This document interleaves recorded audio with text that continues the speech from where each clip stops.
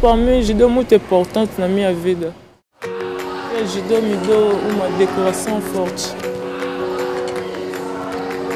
Eu separo na família já há muitos anos, chorava muito. No tempo que eu entrou no judô para procurar uma vida melhor, porque eu procurando minha família há muitos anos. Nunca vi, nunca escutou que o refugiado está lutando na Olimpíada.